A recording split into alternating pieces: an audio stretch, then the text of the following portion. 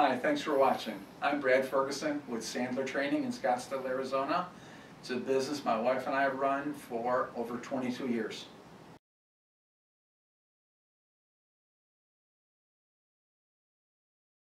You're going to know exactly who could be performing at a higher level, producing more revenue for the company, how long it's going to take for that to happen, and what weaknesses need to be corrected in order for the skills that they're being trained on to be uh, implemented.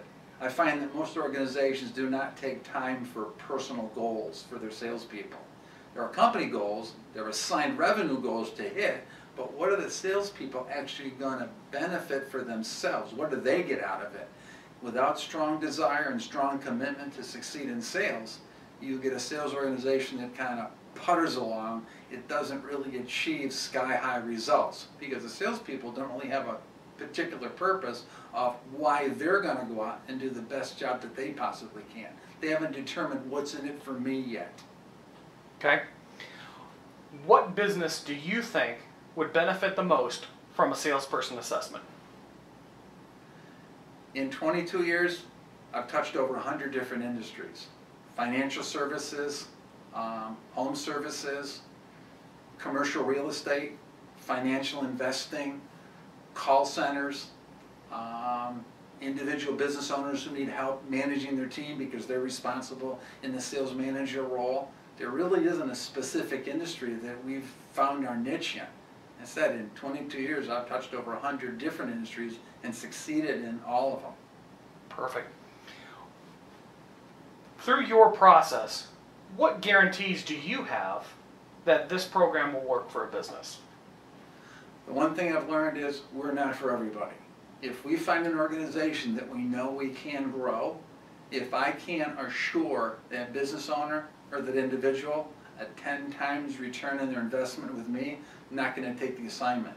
Our initial diagnostic tool tells us exactly who we can work with, what their return will be, and how long it will take for that to be acquired, so that we can actually stack the deck to make sure that we're only working with the right people.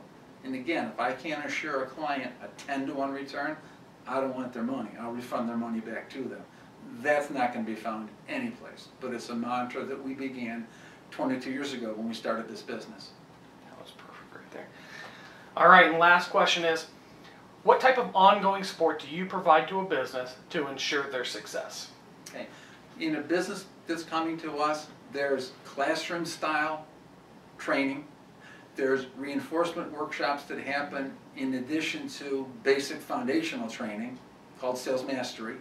Sandler today has over 10,000 hours of online learning available and I also do on-site private coaching and training for my clients. It really depends on what that client needs, what their individual people need, how they actually take in information, and how you instruct with them everybody takes in information differently.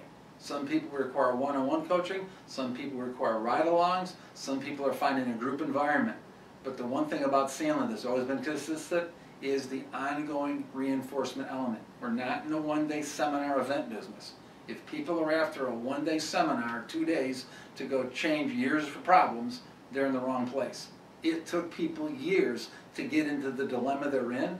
It's going to take many times years to develop ongoing changed behaviors that produce continually, continuing increasing results.